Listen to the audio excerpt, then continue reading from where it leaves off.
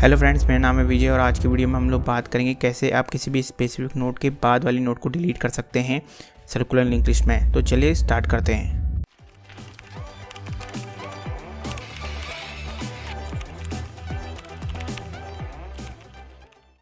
तो यहाँ पर देखिए हमने कल सीखा था कैसे स्पेसिफिक नोट को डिलीट करेंगे। अब हम ये सीखेंगे कैसे स्पेसिफिक नोट के बाद वाली नोट को डिलीट करेंगे। कोई अगर यूज़र कोई नोट देता है तो उसके बाद वाली नोट को कैसे डिलीट करेंगे। तो यहाँ पर डिलीट यहाँ लिखेंगे स्पेसिफिक और यहाँ पर लिखेंगे नोड और यहाँ पर लिखेंगे आफ्टर ठीक है? और ये सबसे पहले क्या ले लेगा? ले लेगा ये सेल्फ और यहाँ पर सबसे पहले कंडीशन चेक करेंगे कि अगर हेड हमारा एम होता है तो उस केस में क्या करेंगे? लिखवा देंगे कि हमारा लिंक लिस्ट क्या है? एम है और सिंपली रिटर्न करवा देंगे। अगर ऐसा नहीं होता है, ठीक है तो उस केस में क्या करना है? सबसे पहले एक टेम्प्रेरी वेरिएबल ले लूँगा मैं, जो कि सेल्फ डॉट हेड को पॉइंट आउट करेगा और एक वाइल का लूप ले लेंगे और यहाँ पर क्या करेंगे? सबसे पहले ये चेक कराएँगे कि कहाँ तक हमारा डाटा है। ठीक है? मतलब जो यूज़र ने वैल्यू डाली है, वो कहाँ पर जाके एग्जिस्ट करता है? ठीक है, कौन सी नोड में?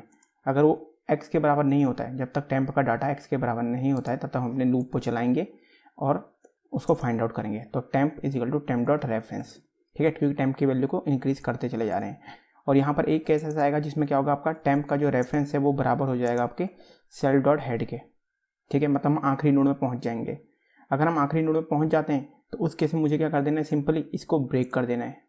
और ये सेल्फ के साथ एक्स भी ले लेगा, दो वैल्यू लेगा। तो यहाँ पर अगर हेड के बराबर हो जाता है तो मैं क्या करूँगा? ब्रेक कर दूँगा। तो यहाँ पर देखिए ये कोड क्यों लिखा हुआ है?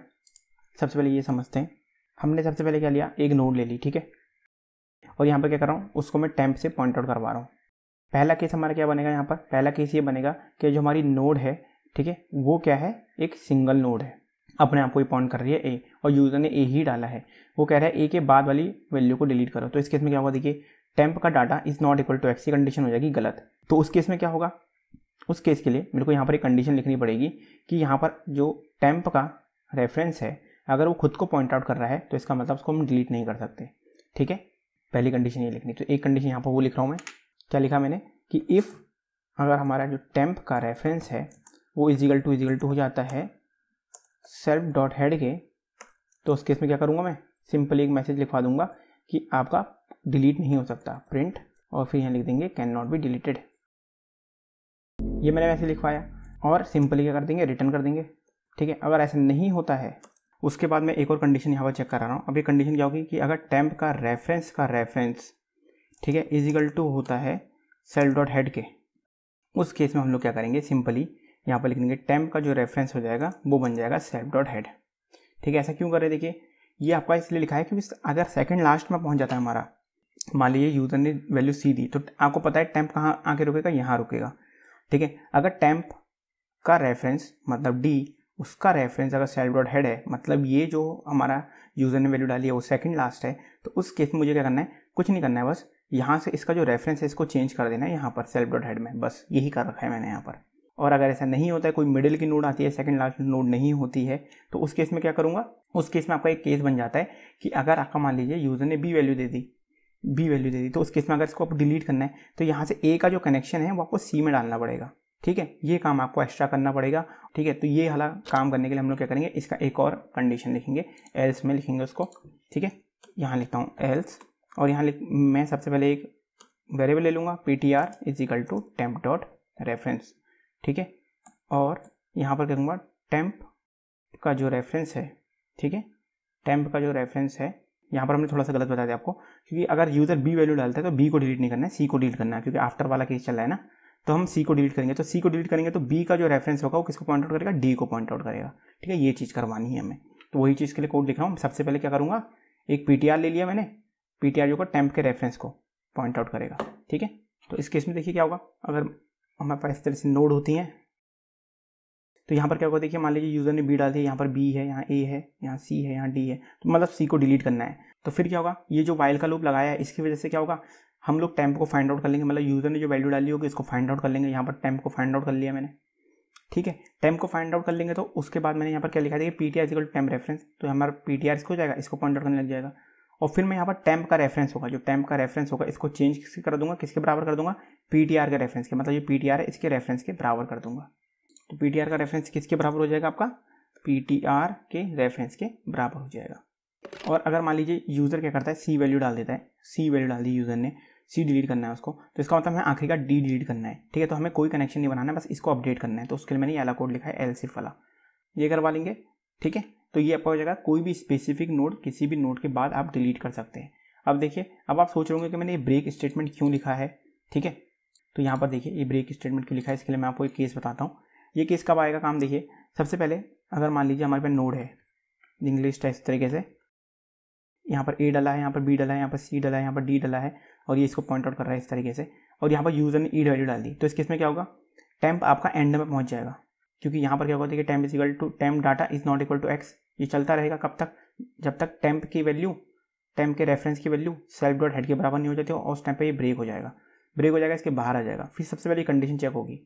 ये कंडीशन जो है ये चेक करेगी टेम्प का रेफरेंस कहीं इक्वल टू नहीं है सेल्फ डॉट हेड के मतलब सेल्फ डॉट हेड के। यहाँ पर क्योंकि टेम्प आखिरी में पहुँच जाएगा, आखिरी नोड में तो यहाँ पर क्या होगा?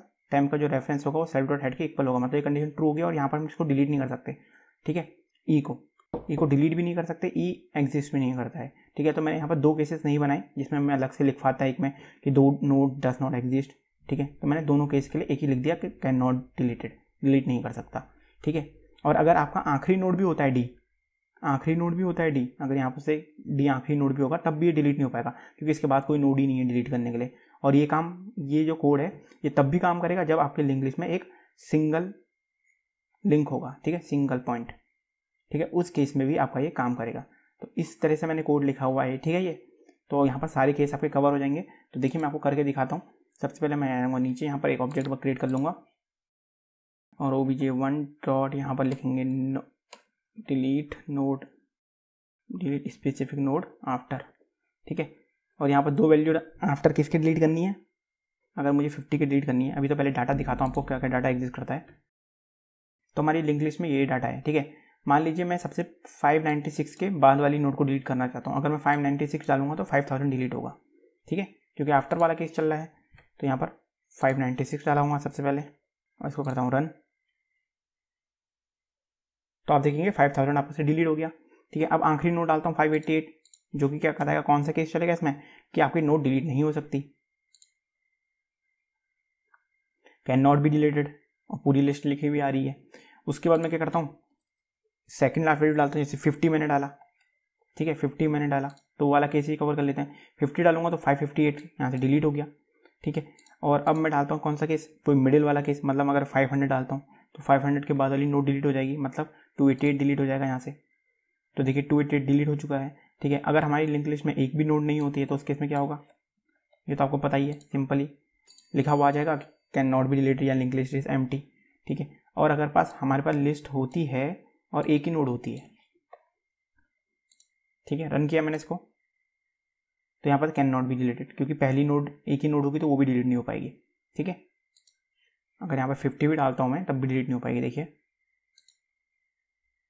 ठीक है? तो ये आपके सारे केस कवर हो गए। तो आज की वीडियो में इतना ही। यहाँ पर मैं छोटी सी रिक्वेस्ट आपसे करना चाहूँगा। हमारा एक दूसरा चैनल भी है C S Geeks two point जहाँ पर हम आपके गेट के रिलेटेड सब्जेक्ट जो सी सी में पूछे जाते हैं, वो वहाँ पर कवर करते हैं। तो अगर आपको सी सी के सब्जेक्ट्स पढ़ने में इंटरेस्ट है, जैसे डाटा स्ट्रक्चर हो गया एल्गोरिदम हो गया सी हो गया डाटाबेस हो गया, ठीक है? कंप्यूटर ऑर्गेनाइजेशन हो गया ठीक है ऑपरेटिंग सिस्टम हो गया। वहाँ पर डिटेल में हम लोग वहाँ पर पढ़ा रहे हैं और साथ ही साथ हम लोग आपके वहाँ पर गेट के क्वेश्चन भी सॉल्व करवा रहे हैं आपको, ताकि आपको और डिटेल में अच्छे से आपकी तैयारी हो सके और इंटरव्यू के लिए आप अच्छे से प्रिपेयर हो सकें। अगर आप इंटरेस्टेड हैं तो चैनल का लिंक मैं डिस्क्रिप्शन में दे दूँगा और यहाँ पर आपको आई बटन पे भी फ्लैश हो रहा होगा उस पर जाके आप सब्सक्राइब कर सकते हैं। तो आज की वीडियो में इतने रखेंगे। Thank you watching good bye take care